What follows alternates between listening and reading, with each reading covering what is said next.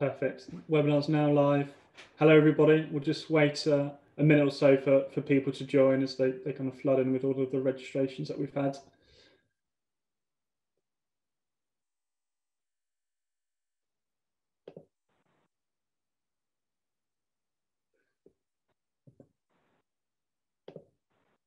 Perfect. So I think Brooks kindly sharing our um, our house rules. I'm sure we're all used to online events by now. Um, but just a, a, quick bit of housekeeping, really.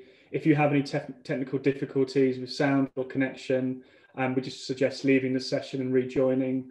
Um, everyone's going to be on mute just to, to make sure the audio is as best as possible.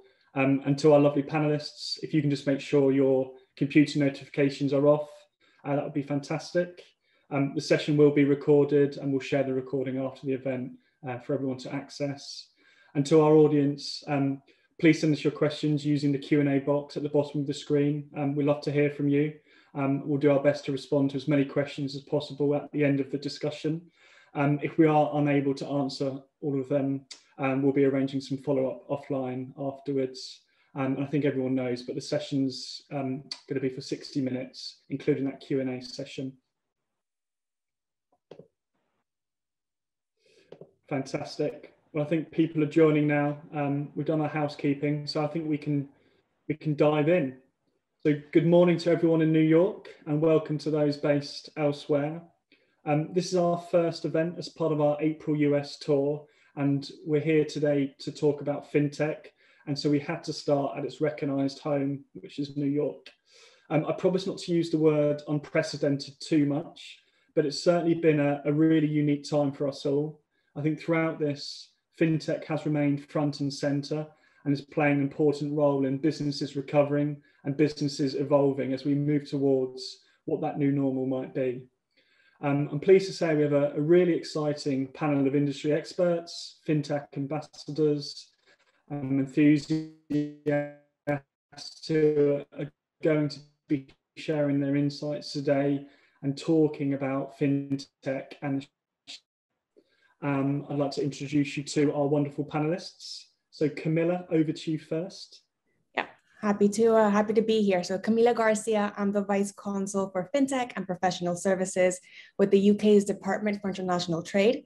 Uh, my role is largely focused on market entry support, including business development and market exposure for UK firms in the US market, and then helping guide US companies throughout their UK investment. I have a focus on everything to do with fintech, although I naturally spend more time on companies that are conducting their business internationally. Fantastic. Thank you, Camilla. And now over to you, Seb. Hi, thanks, Adam. Thanks for having me. Sebastian van Skolkwijk. I'm the MD for Onbe uh, Europe. I am responsible for the uh, the build out and the development of the the EU infrastructure here on the ground. Uh, been on the ground here for about a year, been with Onbe for three years. Um, and yeah, glad to be here today. Perfect. And now on to Alexandra. Thanks so much, Adam, and thanks um, for the panelists and Zedra. I'm really looking forward to the conversation today. Uh, my name is Alexandra George. I am the FinTech Platform Manager at Rise created by Barclays and sit within the Barclays Group Innovation Team.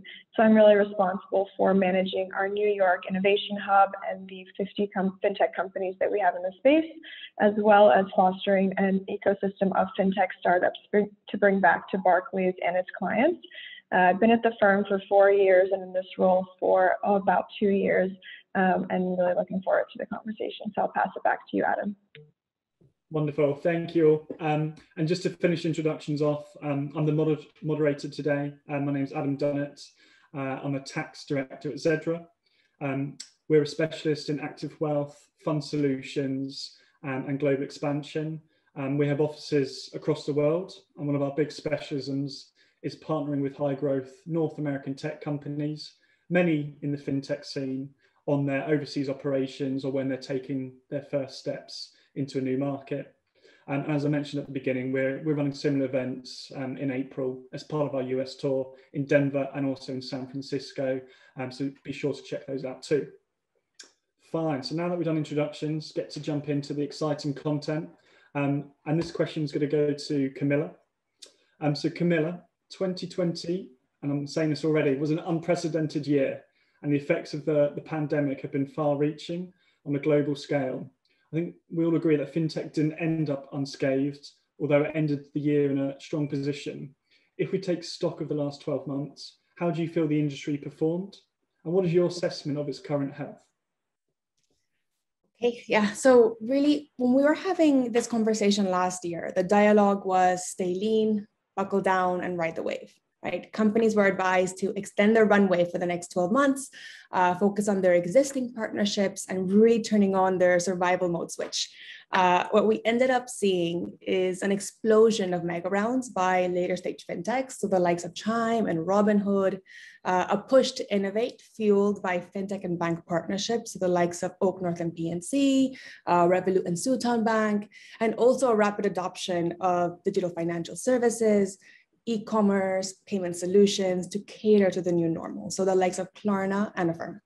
Uh, there are those that have struggled, right? And those really were pre-revenue and early stage fintechs that reported facing operational and funding challenges during the pandemic. Uh, also, those operating in the lending space, so likes of OnDeck, Greensill Funding Circle, really struggled as their customers began to default. What we saw is that companies began to change their business model, start charging for some functionalities that were previously free, or having to raise funding from existing investors to really refuel that tank. Uh, several trends were accelerated by COVID-19, like the jump of digitization by three to five years, an increased appetite for consumers to better manage their finances, and the increased pressure for financial institutions to adopt new technologies or risk falling behind. What will be exciting in 2021 will be M&A activity, right? So this time last year, experts were predicting that there's this once in a lifetime opportunity where the implications of unemployment and uncertainty would have really shrunk valuations and spurred acquisitions between fintech and banks.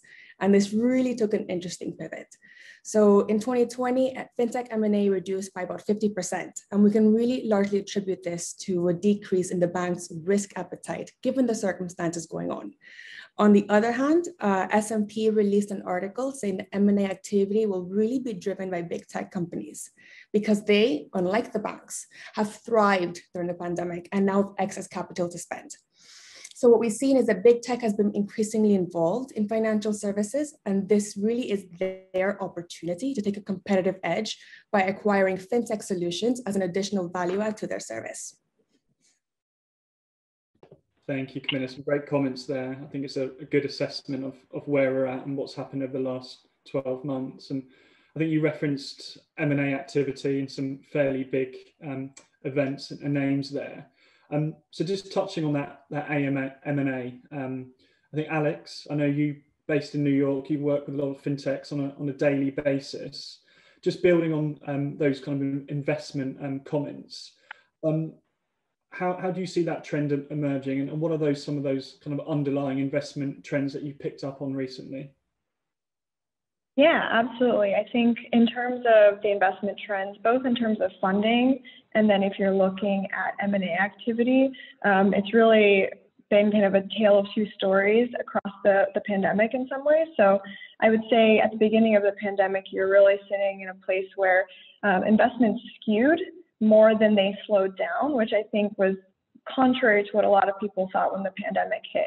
And I think this was due to kind of several factors. So the first one was that there wasn't necessarily a clear working model for startups and investors um, to pitch, to fundraise, and to really have those relationships that they had in person. Um, and I think we joke about it now of the fintech founder pitching in his underwear at home, and you're being able to kind of fit more of those meetings in. But that working model at the beginning of the pandemic didn't necessarily exist. And that's where the network effect of VC and fundraising um, really ended up skewing where the funding numbers were going. So for early stage companies, pre-seed to seed, the ones that were really developing their product market fit, but also in a position where they were being forced to pivot, that's where you saw significant declines in origination and increase in delinquencies. But on the other side, where you look at pre-existing, so growth stage companies, companies that were already in an investor's pipeline, that's where VC investors really started to double down, making sure that they were giving that advice to kind of put down their battle hatches, as Camila noted, um, and really focus on their pre-existing um, investments. So those companies survived through that kind of um, you know uncertainty period and really came out on the other side stronger. So that's where you actually ended up seeing significant funding um, for those uh, growth stage companies and even higher valuations um, because of the fact that fintech is really um, a digital offering that benefited and flourished during that time. Um, you know, I think I pulled a, a, stat that was saying that private funding into fintechs was 20% higher in 2020 relative to 2019, and that's really because of those growth stage and later stage companies that were able to really develop um, their products and come out in this digital first economy. Um, stronger. Um, so I think that in terms of funding is what we saw. And then if you're looking at kind of M&A 2021 um, liquidity, I think, you know, a, we're in a low interest rate environment. And so there's, and B, there's a lot of new investment vehicles. I know there's, you know, talk of SPACs, and I don't want to necessarily get into that um, right now, but I think those new investment vehicles and also new asset classes that have been created um, or been enabled due, the, due to the digital economy, I think that's where more investors are starting to put their money. And I don't necessarily consider VC a new investment uh, vehicle, but I think for a lot of investors, it is still a relatively new asset class, and that's where you're starting to see more money going into funds, and then more, you know, money from the funds going into startups um, and those higher valuations. Um, and then just on the M&A front, I think there's several trends just really undermining all of M&A activity that have been kind of brought forward by the digital adoption. Um, and I would add to what Camila said about it's financial institutions acquiring fintechs, but it's also fintechs acquiring fintechs and big tech, which is a new player, I, well, relatively new player in the space that's acquiring fintech. Um, and some of those key trends are really diversification of product lines. Um, I think reaching, you know, SME, small medium enterprises, and also kind of merchant markets, and thinking about um, artists as entrepreneurs and as business owners, for example. Um, I think the open banking trend and looking at like the Mastercard and Finicity agreement and bringing open banking to the U.S. so that you know these um, card providers are actually now platform providers and providing these B2B offerings um, is another key trend that um, you know you can kind of see across M&A activity right now. Um, and then the last one I touched on is really that digital first offering of blockchain, cryptocurrencies, and alternative assets really coming to the forefront and companies trying to figure out how that fits within the products that they're offering. So I think that's what we're seeing in terms of M&A activity and, and where some of that high valuations are kind of funneling into acquisitions this year. Brilliant. That's a really comprehensive answer on the investment side. Thank you. And I feel we could have a, a whole different session on, on SPAC Yeah, I know. I was like, don't want to get into that one, but um, another session. Definitely, yeah. No, we yeah, we really could. But thank you. So I think between those answers, we've got a, a nice assessment of of the last 12 months, those key investment trends, those those key developments that are emerging, what's on the horizon, and, where the fintech sector is positioned.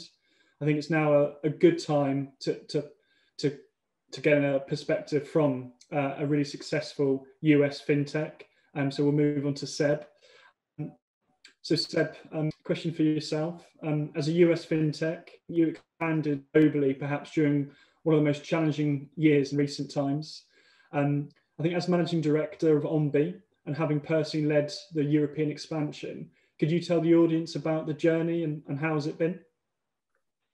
Yeah, thanks, Adam. Um, I mean, the journey hasn't been easy that's for sure. But it's been so worthwhile. Um, our journey actually started a couple of years back before we landed, uh, back in 2018, after we got acquired by Bain Capital and Silversmith Partners. And as you can imagine and appreciate, with PE money comes um, the expectation of growth uh, and to grow faster. Um, and we started to notice at around about the same time that it was becoming ineloquent to service a growing base of clients and EU based clients from across the pond uh, more so that there, were, there was a lot more demand coming out of uh, Europe, specifically London, And so, you know, it was inevitable that we were going to make a move into markets. Um, our primary, you know, stance was really to try and service the clients uh, and then get on the ground and then start to diversify revenues and, and build out the revenue. So 2018 really was about formulating the business plan, putting together a five-year pro forma, getting uh, getting sign off. We actually planned to be in market in 2019. Um, 2019 was actually quite volatile. Uh, we got buy-off from the board and um, we kind of put the brakes on a little bit because Brexit gave us a little bit of pause. And so what we did was we started to focus on more the administrative sides of building out the business entity, incorporation, setting up bank accounts, looking for office space, etc. While we had already done our research that you know Brexit or the implications coming out of Brexit, the direct implications wouldn't necessarily impact our business and be too volatile. We weren't quite sure of what the economical or commercial ramifications were going to be. Um, but after some time, it soon became apparent that those kind of economical ramifications would be so long-tailed that it would be no, no um, uh, it wouldn't be worth our while to kind of wait and, and see how things panned out. So we decided to make a move. And in 2020, we arrived in the UK, uh, started to put our plan into action. We signed a 12 month lease, hired our first person, um, and we couldn't have picked a worse time because two months later, our luck, COVID hit, uh, and our plan pretty much got squashed. Um, so we were forced to pivot off plan. Uh, it would have been so easy for us to just head, you know, we've only been back in market for two months. It would have been easy for us to head across the pond, um, settle back into US life and wait and sit everything out. Um, but we knew that there was substance behind our plan and we knew it was still worthwhile to, to carry on with what we'd embarked on. So uh, we reverted to take a bit more of a conservative approach to the plan. And as the market started to, so we cut back on spending, we postponed any hires. Uh, as the market started to open up towards the mid of the year, really sorry, I thought I turned notifications off if you can hear them coming through. I did turn them off. Um, bad, I haven't done my housekeeping properly. Um, so towards the, tail, uh, the middle of the year, we started to hire again, the market started to open up and what became apparent was that COVID actually presented a few other new opportunities that we might never have gotten. Uh, so, you know, being, being able to be nimble, pivot off plan, and capitalize on some of the opportunities made it a bit more worthwhile. Thanks, Seb. Some interesting insights. And yeah, I think between Brexit and the pandemic, you, you certainly picked a challenging year, but it's, it's good to hear that, you know, you made it as successful as you, you physically could do. And I think it you know points to the benefits of having a plan but being able to pivot when that plan doesn't go according to plan. Um, but you'll always remember that year for sure. Um, kind of back to you. Um, i think so many fintechs want to be physically in in both us and uk markets. What what is so attractive about that dynamic yeah so you know there's there's quite a few aspects i think if you look at the statistical side of things um, you know the UK and the US are the banking capitals of the world. Uh, they're also rated, um, you know, at the top of the fintech hubs of the world, specifically London and New York are ranked number one and, and number three respectively on the Global Financial Index. Um, when you look at some of the other stats, you know, the, U, the US has 22 cities and the UK has three cities in that uh, fintech index. And while there's a lot of these um, smaller fintech cities that are bubbling up, you know, three of them uh, fast growing in India, none of them can compare with the investment and the infrastructure that's already been born out and, and built out from uh, London and New York. You know, we've heard a bit about the investments from both uh, Alexandra and Camilla. Uh, and, you know, when we speak about investments, the plethora of VCs coming out of these two cities alone uh, who are on the lookout for adding to their fintech stack um, are second to none. You know, Onbe, for example, uh, the company I work for, we have just undergone our second acquisition uh, of being purchased, that is. Um, and to put things into perspective, you know, fintech investment in the US in 2020 was just shy of about 10 billion uh, dollars, and in the, U- the UK was about 2.3 billion dollars, and that's about 3x larger than the third largest fintech city on that uh, fintech index. London specifically, when we're looking at that, you know, is the global uh, home of fintech accelerator as well, which makes it an even more attractive place to uh, to set up shop. There are, of course, other aspects uh, from when, from within the industry uh, with related to you know settling into the US and UK markets that can't be ignored. Some of the things that we were kind of looking at when when coming into market. You know, uh, the, com- the country's infrastructure or the, or the, the city's infrastructure in, insofar as uh, smartphone and internet penetration is concerned for people to be able to adopt uh, some of the new tech that's coming out and to use the tech. Um, the total addressable market can't be ignored. I mean, the US having a, uh, a market size of 330 million people, the UK being the doorstep to the rest of Europe. Um, and then I know it seems relatively trivial, but there are smaller, softer aspects such as language, which makes it a lot more appealing when settling into the UK or, or the US, as an example. At least it was for us. Um, you know, when looking at where you make your next move, sometimes um, eliminating some of the complexities associated with getting into different markets um, makes makes the decision a lot easier, right? So when we, I'll give you some context, when we looked at um, the different markets that were available to us to, to set up shop, the Netherlands, Malta, Latvia, and so forth, um, the UK was pretty much a no-brainer because we were able to quickly and easily navigate some of the reg, uh, legal, and tax infrastructures in our own language that we shared with, with the states uh, that just allowed us to plug and play. Perfect, thanks, Seb. Yeah, and I think that the language thing is really powerful, and also cult culturally. I think I know there's there are some differences between Brits and Americans, but actually there's a lot of similarities in terms of cultural outlooks and in human, all that kind of stuff, which kind of Absolutely. you know talk about the soft infrastructure. It makes it that launch a lot easier. Um, but yeah, really interesting to hear Onbe's story. Um, if we kind of start looking towards the the future a little bit. Um, Camilla, a question for yourself. Um, so the prominent and well-known VC firm Andreessen Horowitz are, are famed for, for recently saying soon every company will be a fintech company. And um, what's your interpretation of that statement and, and how much of that is, is true, do you think? I mean, I, I, can't argue with them, right? But no, it's it's a really valid statement. But what I I don't think Angela Strange was referring to every company being flooded with millennials in their fintech uniform, Patagonia vests, talking about their new startup, right? What I think she was trying to get at is the adoption of the as a service model for fintech, offering uh, companies a new method to service their customers, uh, retain their customers, and increase their profit margins. So she gave examples of the like of Uber or Lyft, right? And their banking offer for their drivers, um, Shopify for the e-commerce, or like we talked about big tech earlier, Apple and their credit card. Uh, much needs to get done to drive financial inclusion, uh, and fintech has you know, proven time and time again to be a key contributor in offering financial products that are cheaper, uh, easier to use, and just better for the consumers. Uh, Angela mentioned, you know, there must be so many ideas that have fallen to the side due to prohibitive upfront costs and similar to the development of AWS, there really could be this new wave of as a service to reduce the market entry barriers for the new players. And what the result of that would be is a twofold, right? There will be an increase of new entrants to the fintech entrepreneurs in the market. And there'll also be large incumbents that are being able to build fintech-like solutions with significantly less barriers and costs involved. Uh, so what my take really is, and the takeaway that I kind of suggest is, I think every company will need to be thinking about incorporating financial services to their model, right? It's either through a fintech partnerships or it'll be building it themselves. Perfect. Yeah, I think that's. I won't, won't argue with that at all. I agree completely with that. Um,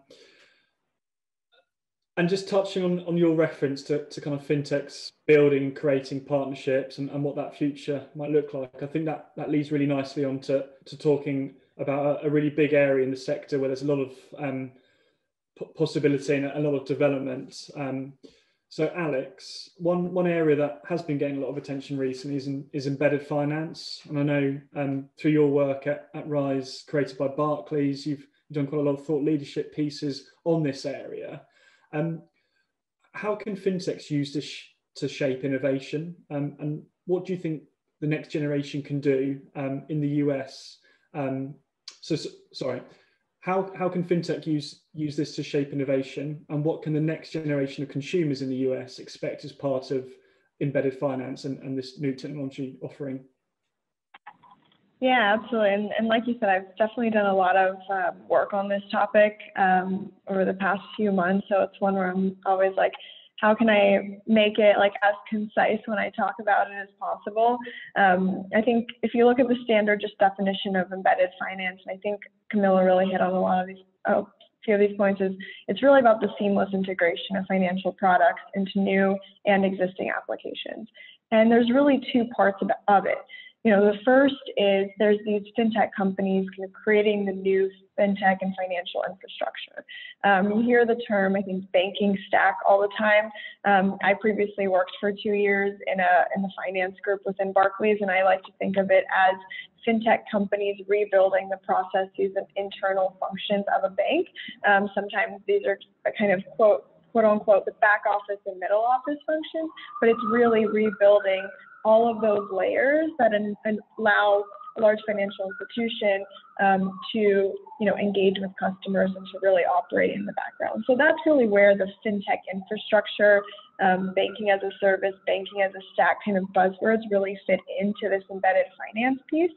Um, and I think what's really exciting about it, beyond the fact um, that you're taking some of these um, you know, in kind of labor heavy, also just process heavy roles and automating them, which um, I think for fintech kind of being able to move beyond just creating the next neobank, but actually really diving into like KYC allows for these fintech companies to go to market faster, but then to also um, offer different types of financial products and services um, to customers that were previously um, not able to gain those financial um, you know, products and services. So that really touches on that financial inclusion piece that Camilla noted.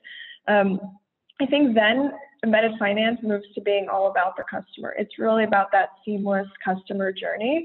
And I think that's where you're seeing adoption, not just across financial institutions, but really across big tech um, and consumer brands. I mean, if you look at embedded finance and you're thinking about a Lyft or an Uber, they want to keep their customers in their application for five seconds, 10 seconds longer, because that means that they have you, um, they can kind of retain you. And that's where customer acquisition costs and customer retention metrics come in. But I think that's where they want to keep you as part of like the Uber family or, you know, whatever company's family and um, product journey as much as possible. And that's where embedded finance uh, really lives with those kinds of brands. I think there's really exciting applications that people don't necessarily think about when they think of fintech.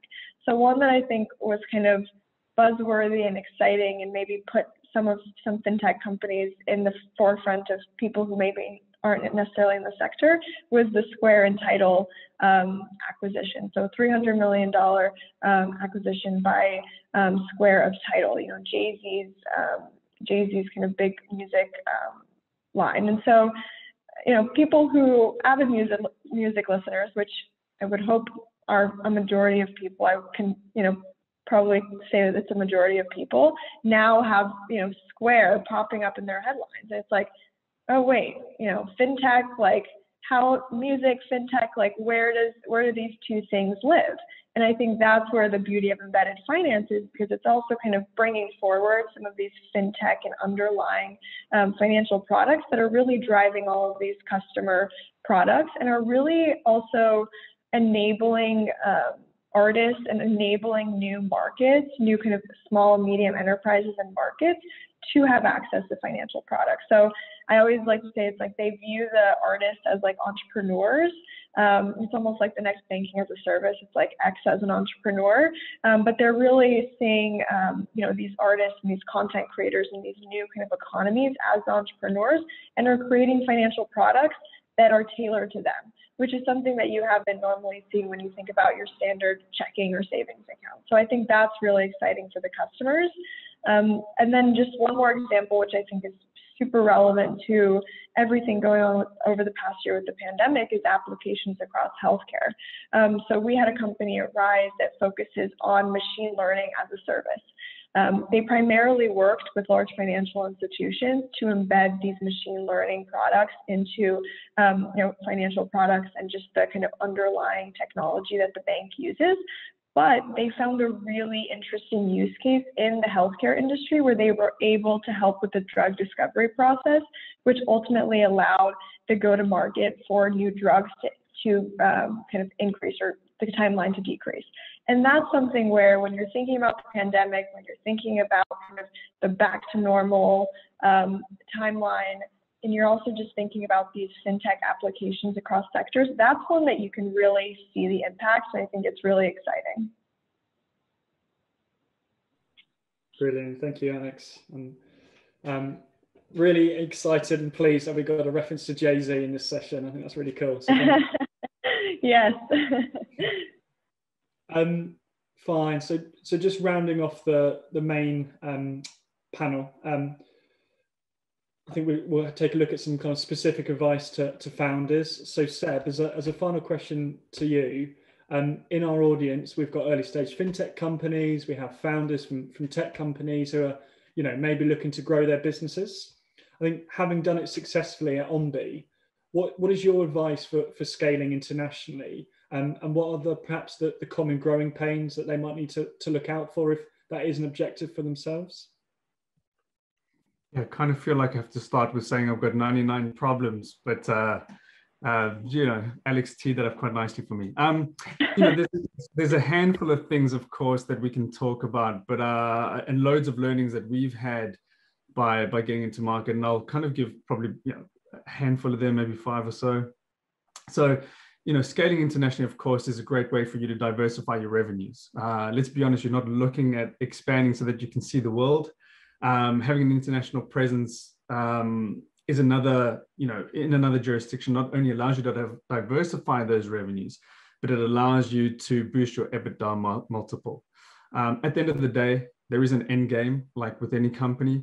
Um, and as mentioned before, you know, in these fintech cities like London and New York, there are you know, loads of venture capitalists looking at, um, you know, where they're going to get their new unicorn from. Um, and so you know, one of the things here is you can use a good strategic partner to help you grow um, by being in these markets. The second thing here is, um, for the most part, you're likely going to be a little bit more of a later entrant into the market. Um, and you may have some catching up to do. So it's a tough slug to get into the market with set revenue targets in your first year, hit the ground running, uh, and expect to build, you know, significant revenues in here. Remember, you need to consider, you know, branding, your supply and network, your infrastructure, marketing, uh, all those kind of things that will help you with your lead generation. So I would say, you know, the advice here from a scale perspective is get boots on the ground. Have a salesperson pre-sell um, the solution um, so that you can understand what the market nuances are as it relates to the product and service, and then you can sculpt your market entry strategy once you're ready. Um, you know, you'll be able to make adjustments, uh, and then you'll have a little bit more confidence that your product and service is fit for purpose for when you do enter into the market. Closely related um, is just because it works in one market doesn't mean it's going to work in all the other markets. So you've made the decision to get into market, you've uh, you know put down the investment. Somebody mentioned customer centricity. I think it was both Alexandra and Camilla. You know, be more customer centric, spending time in the market, doing some research, getting the data analysis, the beauty about having that salesperson on the ground is that they can do all this reconnaissance on behalf of your brand. So rather than making sales your first KPI of the year, perhaps it's a good idea to make uh, you know data gathering that KPI um, for the first year, um, and then don't be afraid to kind of mold the product and service so that it's fit for purpose for the market that you're in, entering into, so that um, you know, it, um, you, you can sell that solution effectively. You know, for us, for example, we knew that we could sell our base product all day long. Once we were in market, we soon we soon realized there were certain nuances either related to the regulatory landscape that we hadn't quite cottoned onto, that we had to change the product to make that a little bit more adaptable and versatile. Um, another tip here is, you know, um, as Mike Tyson always says, everybody has a plan until they get punched in the face. Um, and looking back at our journey, my goodness, did we get sucker punched in the face? We had no idea. You know, we had the best laid plans. Um, the prospect of building a healthy business, you know, the the uh, the prospect of first year revenues even looked phenomenal until it was not. Uh, COVID hit and our plan pretty much went straight out the window, like I mentioned beforehand. Um, while I'm sure a massive macro event like this will likely not happen anytime soon, touch on wood, um, you know, things don't always pan out. Uh, not in our personal lives, not in our working lives. And I think here, you know, in order to be able to succeed, you have to be able to bend and bow. Um, and then the final thing here, Adam, I would say is, um, you know, find a great partner that can help you make that journey more seamless. Um, one that could take a lot of the heavy lifting off you in terms of the admin stuff. Think of tax, think of regulatory, think of HR structure. Uh, one that can that can navigate local complexities of the market um, pre, during, and post your expansion. Uh, it'll save you a lot of time. It'll save you a lot of money. Uh, when we kicked off our journey, our private equity um, owner put us in touch with one of their uh, portfolio partners who had just undergone their own expansion. Uh, and they were telling us all about their horror stories of getting into market. Um, you know, it even took them about a year before they could even get a bank account opened. And so their plans were kind of offset by the fact that things dragged out until they found a partner, and that partner actually happened to be Zedra, uh, who they um, connected us to. And so we've been using Zedra for the last couple of years. And you know, I've got to say, having a partner like Zedra alongside, right alongside us, has been instrumental in helping us, you know, navigate some of these local um, tax, regulatory, legal um, hurdles that we've overcome over, or that we've um, encountered over the last few years. Not to say the least, it's kind of cut down on some of our SG&A investment in our first couple of years. Thank you, Seb, and some I think some really valuable and, and, and wise words for anyone that wants to to kind of follow in a similar similar trajectory. So yeah, it's it's really great. Thank you. Um, so we've got a little bit before we jump into the Q and A. We've got a little bit of time just to to do a little um, quick fire round. Um, so this is a little bit of fun. It's some predictions that our panelists have for the future. Um, some quick kind of short answers. Um, so we'll do a couple of these and then we will answer some of the questions that have been coming up during um, the session. Um, so heading to Camilla first. Um, Camilla, what cities or emerging hubs do you think offer the best future opportunities for fintech? I'm wearing my DIT hat. Anyway, no I'm kidding. Um, the, the DIT has that crown, right? They've been able to bring together industry, regulators, and government to lay out the framework for fintechs to thrive. Uh, and they don't just accept you know things where they are right? In an ambition to uh, maintain its leadership position for fintech uh, Ron Kalifa was commissioned to set out a list of recommendations aimed at advancing the fintech landscape. It's really showing this proactive approach to setting a fintech friendly ecosystem to further develop the industry and market and continue breeding fintech unicorns so the uk no there's no doubt about it loving that optimism and positivity. We'll, we'll, we'll definitely take that as a as someone that lives in London. I'm, I'm great. I'm very grateful to hear that. So thank you. Um, and Alex, over to you. I think everyone's talking about the this mass exodus of, of people from big urban cities, this shift to to remote working, to, to online working. Do you think any of that generally puts New York's title of, of home to fintech under threat? Yes, it's an interesting question. I before I even dive into this, I want to say I love the pop culture references we've got going on this morning. Um, who said fintech wasn't fun um, is, is completely wrong. Um, I think in terms of New York, I've always been a big proponent of New York. I think it's still the center center of financial services, and it will still remain a competitive location whether it's for top talent or investment. Um, yes, I do think you're seeing more cities crop up as locations where um, you have more um, fintech companies, investment firms, but I don't think the in-person model is completely dead yet. I mean, I wish my background was off um, and I wasn't having the Rise New York logo, but I'm actually in the office right now and I come in about three days a week. Sometimes it surprises people to tell them that, but I you know, in terms of the level of engagement and interactions that I have with the companies that are back on site, the companies that are looking to come back on site, um, there still is a demand to be in person, and you're still going to need those locations and hubs to do that. And I think New York is still in a perfectly, you know, good position to do it.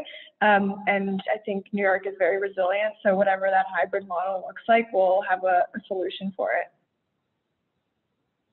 Awesome, thank you. Um, and Camilla, back to you actually. Um, there's been a lot of talk about obviously the US and the UK and, and investment in today's session. Um, in 10 years' time, though, do you think Europe will get to a point where it overtakes the US in terms of investment and VC funding it secures? Um, look, the capital pools in the US are significant, right? They place first globally. Um, in contrast, Europe plays third globally. It has a long way to go before it can even compete with that of the US. I'll leave it there. Um, but in an optimistic note, which I like to put that little sticker on, what we will see is increased capital flows from US investors into Europe, right, to tap into the high growth of the fintech industry there. Lovely, perfect, thank you. Um, and then Seb, over to you. Um, where do you think Onbe will be in five years' time? I mean, we've you know we've just uh, like I said merged uh, as two successful US businesses, and so it's all about growth for us. Um, I think when if I look at specifically Europe, um, you know we're growing the UK market. I wouldn't be surprised within the next uh, five years that we'll have satellite offices across the continent um, to some extent, uh, and you know it's likely again that there will be a series of uh, more M and A that will follow. Uh, we will likely buy some. We'll probably be bought out uh, potentially even float on the market. Who knows? And then we'll just wait for Elon Musk to tweet something uh, and wait for our share price to skyrocket. Bold predictions. I like it. Perfect. um, and Alex, final quick fire question to you. Um, what's like the newest areas of fintech that you're seeing that really excites you? Yeah, um, we definitely talked about kind of the fintech infrastructure 2.0 um, wave, and I think that one is one that you see more and more companies creating different solutions um, around. Um, one area that I particularly am, you know, focusing on, I think, is only growing in terms of popularity. I think you're seeing a lot of early, very early stage companies starting to develop solutions. Is the climate and green fintech space. Um, I think both based off of the administration in the U.S. and trends from Europe, and just an overall kind of societal shift and kind of culture change. I think there's, you know, we've talked about climate um, initiatives in the past, but I think now you're really starting to see um, more money put into startups and more solutions that are customer focused and are really focused on, you know, how do you equate climate action and finances, which are two very, you know, you know, finance is something that's kind of in everybody's life. So how do you kind of use that as a platform to enable that climate action? And that's where I think you know fintech really has a big opportunity. Great, thank you. Um, so now we'll, we'll, take it to the audience. We've had quite a few questions come in whilst um, the panelists have been um, given providing their insights and thoughts. Um, so I think dealing with some of these questions. Um, so the first one is is to you, um, Seb. Um, and it's would you still consider Britain the go-to country post Brexit? If not, which country would you consider most suitable to, to quote plug and play? Yeah, great question. Um, you know, if I'll answer it in this way: if we were sitting back in the states in our office in Chicago and we're still faced with the opportunity to make a move across the pond, uh, for me, I would still say that the UK, uh, London specifically, would be my go-to. Uh, there are definitely some new places that, have, that have popped. When I say new places, some some growing places that offer, of course, really good benefits like the tax tax cuts and what have you. There's Ireland, the Netherlands is is booming, of course, but you know, like I said, you just cannot rival the infrastructure that's already been put in place in the UK, specifically London. Uh, and so I would, um, doing it all again, I, I'd, I'd make the same decision. Great, thank you. Ooh, I love that answer. Makes my job so much easier. I'm definitely New York based, so sometimes I let my UK colleagues speak um, to the UK um, ecosystem even more. But I think, you know, sitting in the US and seeing the initiatives coming out of the UK to promote fintechs staying there, growing there. I think between like the FinTech Pledge and the Kalifa there's so many initiatives that are government led, you know, financial institutions led, um, just like kind of community led that are all connecting and allowing to allowing that ecosystem to kind of continue to flourish so that fintechs really do stay in London. I, I think they're they've done a really great job. Whereas sometimes I think the U.S. market's still a bit fragmented in that front. I'll, I'll, maybe just add on to that. I, I fully agree. You know, there's this existing infrastructure, right? The entire financial services industry. New York and, and London are continuously competing for first place as fi- the financial services capital. You know, that can't just be picked up and moved anywhere, right? So that existing ecosystem, the support from government, uh, support from regulators having only to deal uh, with the FCA for most fintech activity, maybe Bank of England if you're doing something a bit more traditional, whatever it might be. Um, but the fact that you ha- it's it's so you know the market entry barriers are so much lower. That the industry is there, the ecosystem is friendly. It's very much collaboration first, relationships first. Um, and then there's industry groups like Innovate Finance that are lobbying on behalf of the industry. Uh, you have City of London on behalf of all financial services. It's just not, you know, you can't take that and put it in Berlin, right? So very, I mean, I, this is music to my ears, but fully agree with all the points mentioned. And I, and I fully agree that the UK will be a no-brainer for companies that are expanding abroad. Yeah, the, the other interesting thing, and you mentioned the FCA just a minute ago there, Camilla, is, you know, they're actually setting the blueprint uh, or what's serving as a blueprint for other markets to copy in terms of, you know, their fintech, their fintech um, and the establishment across um, across a wide range of that infrastructure. So again, like you said, you know, can't be rivaled at the minute. Uh, New York or the, the States and, and um, the UK are kind of competing for first position. Alex, you, you said it perfect, which is, um, you know, there's just so much infrastructure that's already been laid that, you know, it'll take a lot of time before the others kind of catch up. Um, so it just makes sense that, you know, these are the two key markets to, to settle into. Yeah. And there was one thing you mentioned earlier, Seb, where it's something that I think is overlooked or kind of forgotten, but it's that language piece. And when you said that, I was like, you know what, you're you're so right. There is such a big challenge if some if a company is trying to set up in France or the Netherlands, and then they're trying to expand to Europe and to the UK, sorry, and then to the US. Like the ability to just sit and communicate that much easier and I think that just is an added benefit as well, and it's something that you know is very hard to just reproduce or uh, change. Absolutely. Brilliant. Okay, and we've had another one come in actually. So I, um, feel free to, we can all kind of go around and everyone can say their piece, so there can be a volunteer on this one. Um, but the question is, in the era of digitalization, companies have access to an unmatched amount of data what importance do you believe fintech companies should be putting on data quality issues? Don't know if anyone wants to take that one first.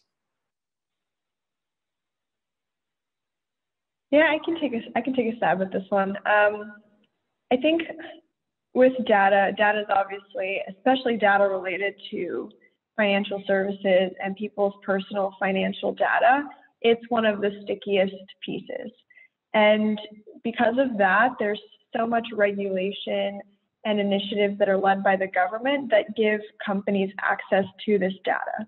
And so I think in terms of data quality, yes, there will likely, you know, there will be questions around data quality and how do you take different pieces of unstructured data and make sure that you're applying the right models to it to best suit customers so that you're not taking advantage of them.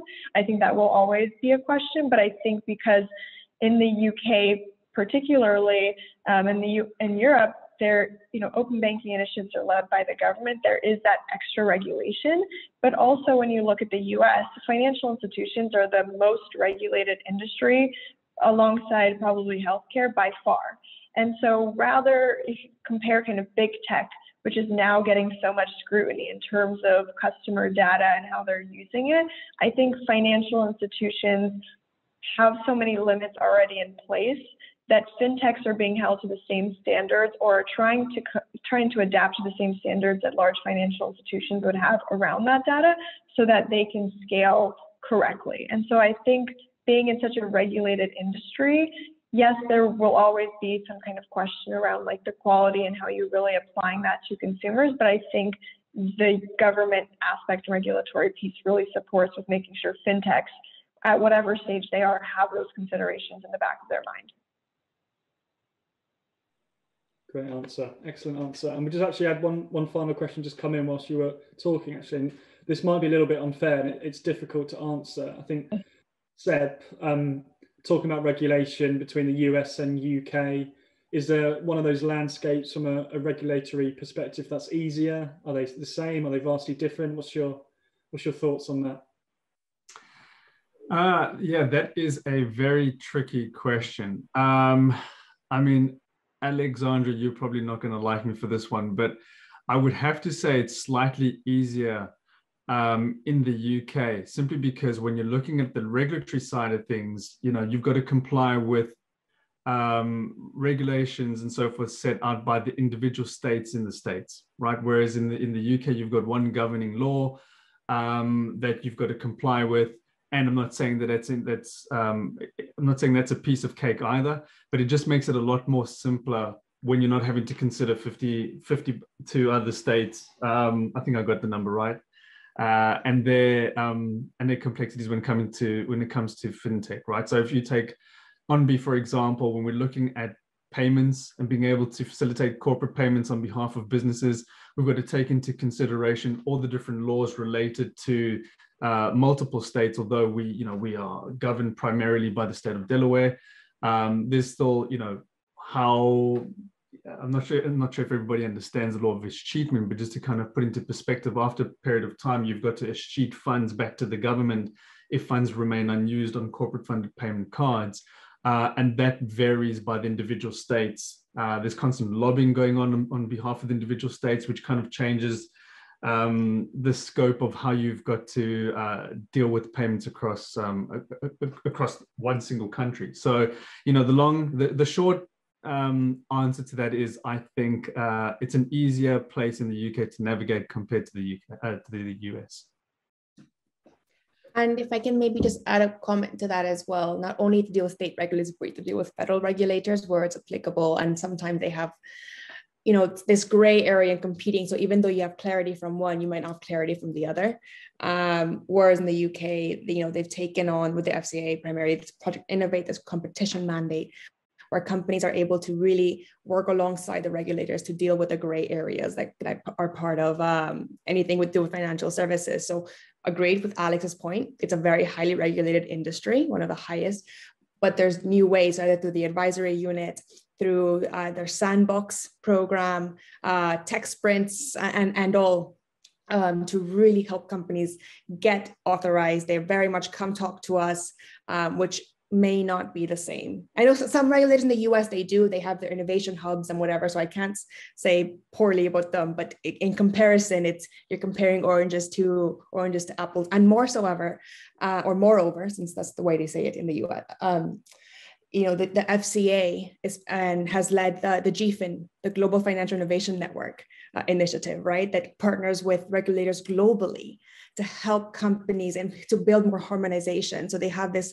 global sandbox of sorts. So companies, you know, being regulated in the UK, then have could have access in theory if they're approved to work in the sandbox in another country, right? And, and they're continuing to build throughout all of this. So it's it's again, you're comparing apples and oranges in this space. Yeah. And to add to that, and maybe a little bit related more so to our previous conversation around just um, the exodus of talents in urban centers, because the US market, um, in terms of re- regulation and how where fintech companies set up shop, it's yes, maybe cause, you know, now in this digital environment, yes, maybe companies are moving to Austin or Denver, but it's still Austin or Denver. It's not every single city across the US and you're having kind of uh, different companies popping up there. So you're still seeing these hubs where there's, you know, fintech startup talent that are aggregating, maybe not necessarily New York or San Francisco, but coming from those places and still having regular kind of cross transatlantic, um, you know, connections and touch points. So I think that kind of goes back to that question about exodus from cities and it I think that regulatory piece really fits in there too because they're still kind of forcing companies to create in these like hubs and create these hubs for themselves. Fantastic, thank you. I think we'll have to leave it there. There's there's some other questions that we can follow up on offline, but just given timings, we'll, we'll have to stop, unfortunately. Um, but it's been a really interesting session. Um, covered a range of topics, a great assessment on where fintech is at the moment, some of those emerging trends, um, embedded finance, we've talked about M&As, references to SPACs, and you came from challenging time to, to set up overseas. Um, but yeah, thank you so much, everybody. I wanted to, to say a, a huge thank you to our, our, wonderful panelists today, who I'm sure you'll all agree provided some fantastic insights on the, the shape of things to come. Um, as I mentioned, we've got some other questions that we'll be following up on in due course. And I would really encourage the audience to extend the conversation, Camilla, Alex and Seb, and between them there's a, there's a huge well. Um, and also to the audience today, thanks for dialing in from New York, London and beyond. Um, we look forward to, to seeing you for the remainder of our US tour and hopefully we can do a, a physical event when we get back to, to normality um, at some point in the future. But um, me and everyone else, thank you so much. Um, it's been a pleasure and, and stay safe and we'll see you soon.